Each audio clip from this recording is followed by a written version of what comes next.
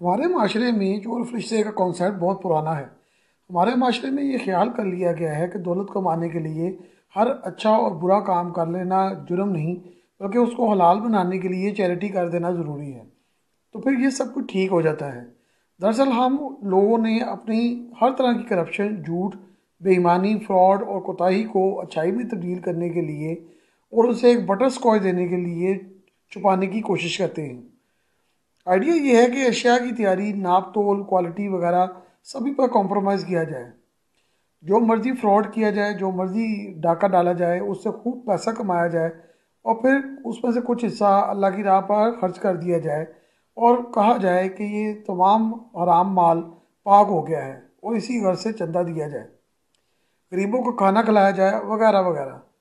इससे माल पाक नहीं होता। ये नज़रिया मकम्मल तौर पर गलत है। दूध के डोल में नजासत शामिल हो जाए तो सारा दूध ही ज़ाया हो जाता है। अगर हम ये सोच लें कि इसमें से साफ़ डोंगे निकाल कर गरीबों में तकसीम कर दिए जाएँ और बाकी दूध इस्तेमाल कर लिया जाए और वो पाक हो गया है तो ये हरगिज़ नहीं हो सकता। दूध ज़ाया हो गया है और वो नजासत भरा है। दर हकीकत हम अपनी कामयाबियों और दौलत के लालच में ये भूल गए हैं कि हराम शह से जो कुछ भी अमल किया जाएगा वो नाजायज़ होगा, उसको जायज़ करार नहीं दिया जा सकता। ये बुनियादी तौर पर बरसगीर में एक कॉन्सेप्ट है कि लोग सुल्ताना डाकू बनना बड़ा पसंद करते हैं। सुल्ताना डाकू एक ऐसा करेक्टर था जो रात को अमीरों को लूटता था और दिन के उजाले में, गरीबों में वही रकम बांट देता था और उनकी मदद कर देता था। ये ख्याल मुकम्मल तौर पर तबाह कन है। आसानी और लूट मार से कमाया हुआ माल मुकम्मल तौर पर हराम है।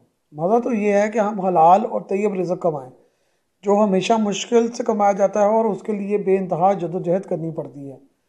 और वो होता भी कम है। फिर उसमें से पेट काट कर अल्लाह की राह पे खर्च किया जाए तो ये उसका आला मैार भी होगा और उसका दर्जा भी बहुत आला और अरफा होगा। हमारे मज़हब में हलाल और हराम की तवीज़ और फ़र्क बुनियाद है। असल और कोताही पर लगे हुए जो लोग हैं और गलती पर लगे हुए जो लोग हैं, वो ये सोचते हैं कि ये सब कुछ करने से उनकी नलायकी, फ्रॉड सब कुछ छुप जाएगा।